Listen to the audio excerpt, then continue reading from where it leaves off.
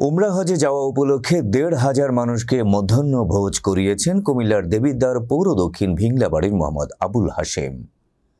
এ উপলক্ষে শুক্রবার দোয়ার আয়োজন করা হয়। মধ্যাহ্নভোজে এলাকার দুস্থ ও অসহায় মানুষের পাশাপাশি আবুল হাশেমের আত্মীয় স্বজন ও সমাজের বিভিন্ন শ্রেণি পেশার মানুষ অংশ নেন। এ উপলক্ষে আয়োজিত দোয়ায় অংশগ্রহণ করেন মোহাম্মদ তাজুল ইসলাম, মোহাম্মদ হাজি বাচ্চু, মোহাম্মদ শহীদ, মোহাম্মদ শাহ আলম, মোহাম্মদ আলম, মোহাম্মদ কানুমিয়া, মোহাম্মদ হাজি আব্দুল সামাদ, মোহাম্মদ ফরিদ সহ আরও অনেকে। দোয়া পরিচালনা করেন দক্ষিণ ভিংলা বাড়ির বাইতুল আমান জামি মসজিদের ইমাম হাফেজ শামসুল হক।